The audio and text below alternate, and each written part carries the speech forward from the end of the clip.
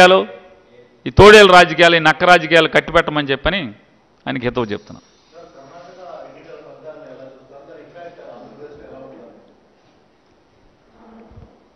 కర్ణాటక ఎన్నికలు ఆంధ్ర ఎన్నికలు దీనికి దానికి సంబంధం ఏంటి? కర్ణాటక వాళ్ళు బెసిపల్లి బాత్ బాగా తింటారు ఆంధ్ర వాళ్ళు అన్నం తింటాం. ఆవకాయ పచ్చడి వేసి తింటాం. కర్ణాటకలో ఆవకాయ పచ్చడి వేసి తింటారేంటి ఏంటి?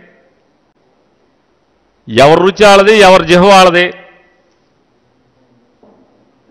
కర్ణాటకకి ఆంధ్రాకి సంబంధం ఏముంటుంది? ఇక్కడ ప్రజల ప్రభుత్వం ప్రజా ప్రభుత్వం ప్రజలు కోరుకున్న ప్రభుత్వం ఓటేసే ముందు జగన్మోహన్ రెడ్డి గారు ప్రజలకు ఇచ్చినటువంటి ప్రతి మాట అమలు చేసిన ప్రభుత్వం వాళ్ళ నమ్మకాన్ని నిలబెట్టుకున్న నమ్మ ప్రభుత్వం ఇవాళ ఆంధ్రప్రదేశ్లో నడుస్తుంది.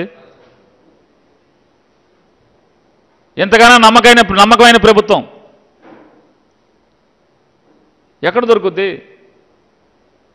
ఖచ్చితంగా ఆంధ్రప్రదేశ్లో మళ్ళీ జగన్మోహన్ రెడ్డి గారి ప్రభుత్వం వస్తుంది.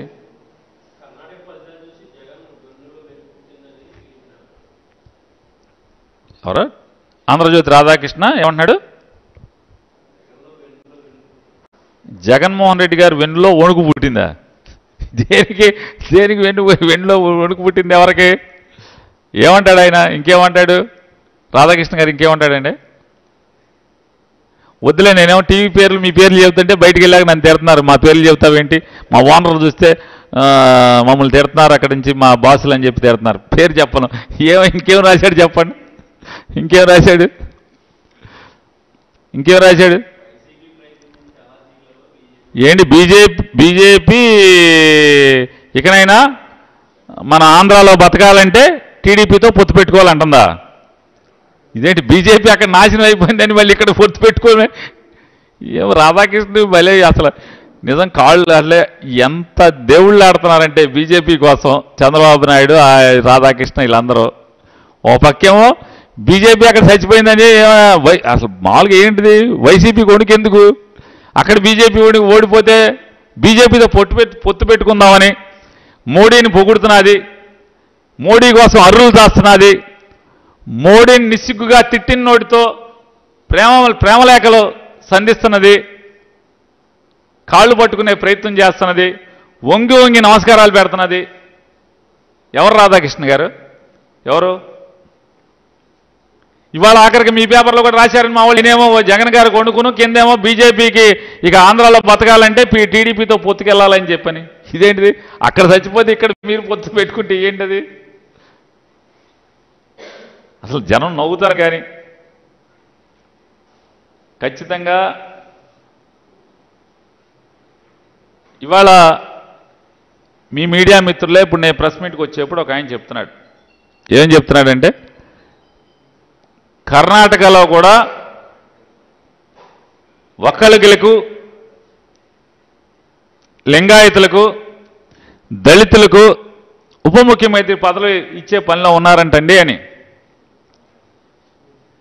అంటే అక్కడ గెలిచిన కాంగ్రెస్ పార్టీ ప్రభుత్వం కూడా ఎవరిని చూసి అమలు ఆలోచనలు అమలు చేద్దాం అనుకుంటుంది?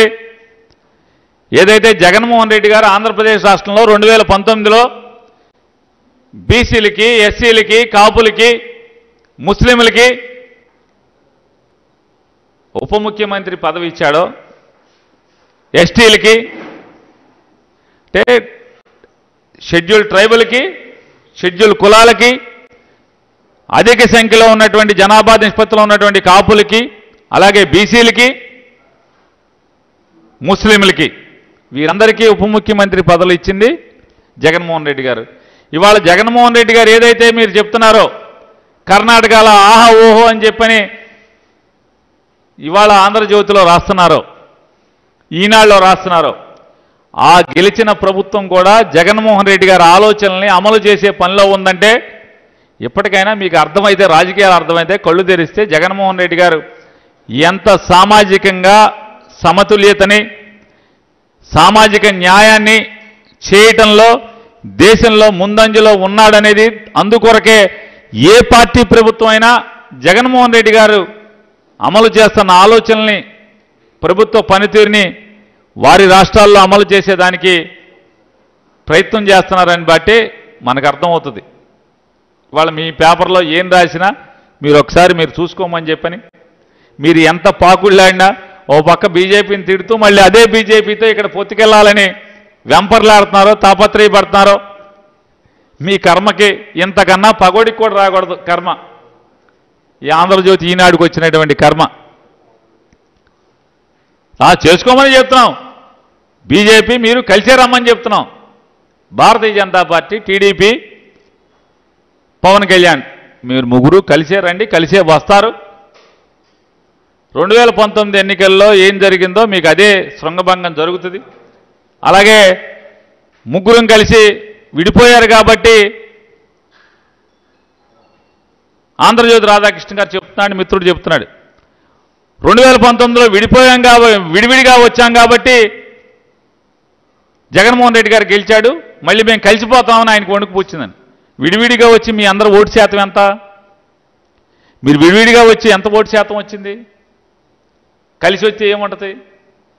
ఇవాళ రెండు వేల పంతొమ్మిదికి ఈ రోజుకి జగన్మోహన్ రెడ్డి గారికి అత్యధిక ప్రజల్లో మరీ ప్రత్యేకించి పేద వర్గాల్లో మరీ ప్రత్యేకించి బీసీ ఎస్సీ ఎస్టీ మైనార్టీ వర్గాల ప్రజల గుండెల్లో బలమైన సుస్థిరమైనటువంటి మీలాంటి ఎంతమంది నక్కలు తోడేళ్ళు కలిసి వచ్చినా కూడా ఏమాత్రం కించిత్ కూడా నష్టం కలగజేయలేనటువంటి సుస్థిరమైనటువంటి పునాదిని